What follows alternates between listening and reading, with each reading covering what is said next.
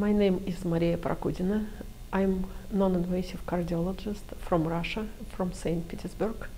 I'm working in Federal Center of Heart, Blood and Endocrinology in St. Petersburg, Russia. Uh, I'm chief of uh, Echo Lab and we perform a lot of exercise echocardiogram and routine echo and transesophageal echo. Uh, we have a big collect data and uh, we performed more than uh, 20,000 stress echo during 10 last 10 years.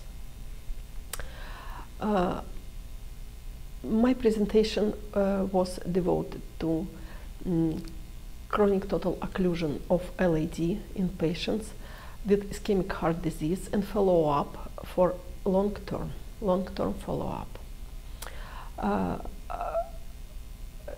We uh, examined uh, 40 patients uh, with chronic total occlusion and divided them for three groups. One group was on medical therapy, another one on PCI, and another one after bypass surgery.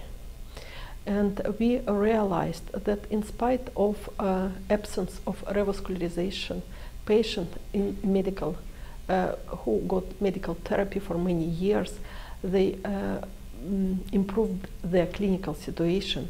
The functional class of angina uh, was decreased and global and regional contractility of left ventricle uh, improved.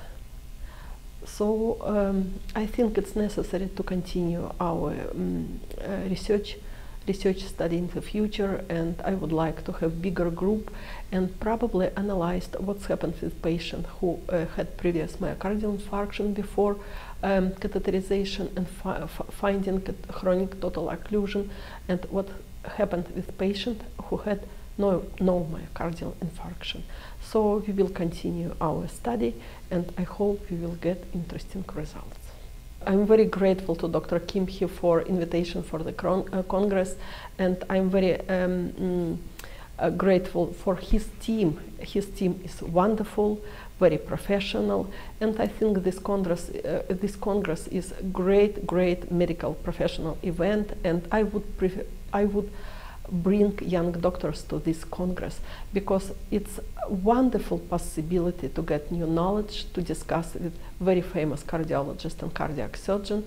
And um, uh, I cannot I cannot say that there is something like like this congress in the world. So it's great congress and thank you so much for whole team. And Dr. Kimchi of course